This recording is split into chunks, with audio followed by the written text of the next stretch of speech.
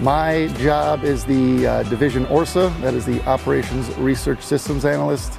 I look at uh, data and analysis, as well as improve some of the systems for the staff.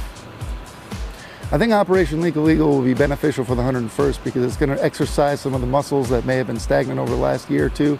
Uh, now that we're no longer uh, going to cycle through Iraq and Afghanistan, uh, we need to exercise some of the things that may have gone uh, stale and moving the entire division out at once I think the commanding general has some clear ideas of what he wants to achieve while we're out there.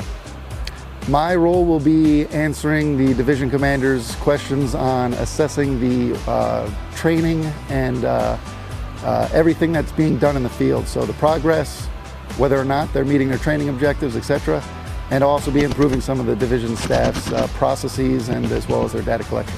This is uh, one of the times where I, as a uh, senior leader, get to come out and do some of the things that I haven't done myself for a while. Uh, so I have some things that I'd like to achieve, and I think uh, as a whole, our division headquarters has some things that we can achieve too.